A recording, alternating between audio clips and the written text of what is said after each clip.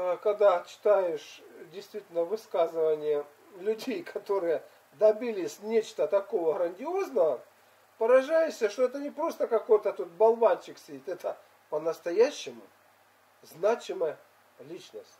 Джон Дэвисон Рокфеллер, легендарный американский предприниматель. Что он сказал? Умение общаться с людьми – это товар, который можно купить точно так же, как мы покупаем сахар или кофе. И я заплачу за такое умение больше, чем за что-либо другое на свете. Действительно, умение общаться с людьми. Чтобы они почувствовали,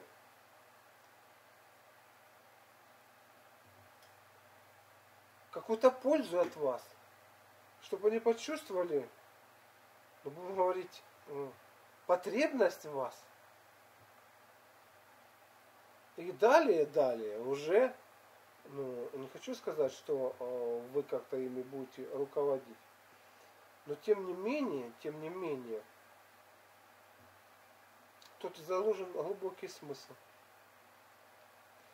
И благодаря вот такому общению можно построить действительно какую-то сеть, там, корпорацию, э, объединить это все какими-то общими интересами, сплотить, направить, понимаете?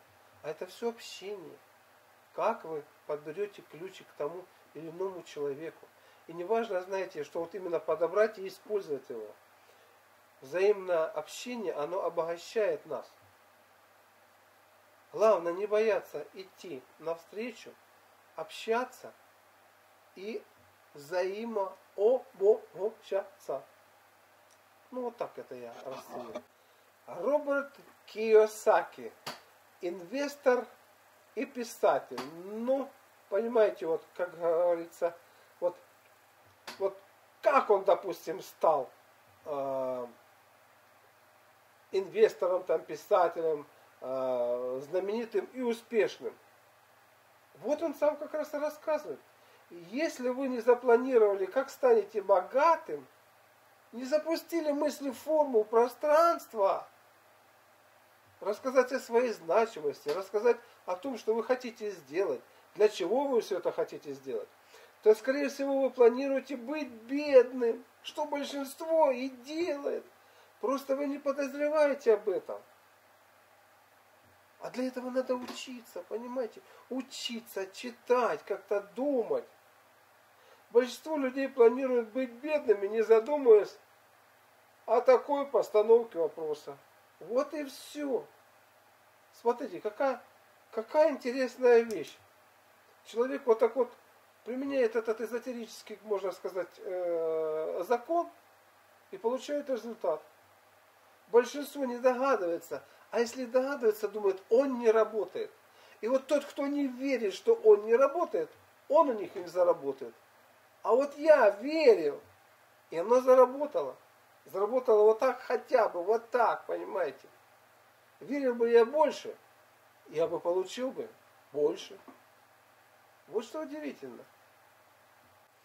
Билл Гейтс, основатель и владелец корпорации Microsoft идея, что время от времени необходимо переосмысливать бизнес-процессы, понимаете, не бизнес-планы, а бизнес-процессы. То есть быть в струе меняющихся вот этих вот потоков различных, которые меняются постоянно, чтобы сделать их более эффективными и исключать нерациональные элементы – актуально сегодня, как никогда прежде. То есть держать руку на пульсе того, что происходит. А для этого надо интересоваться. Не пивко попивать, а вот как-то интересоваться вот, вот, вот, вот, вот всем, что тут у нас творится в жизни. Потому он и Билл Гейтс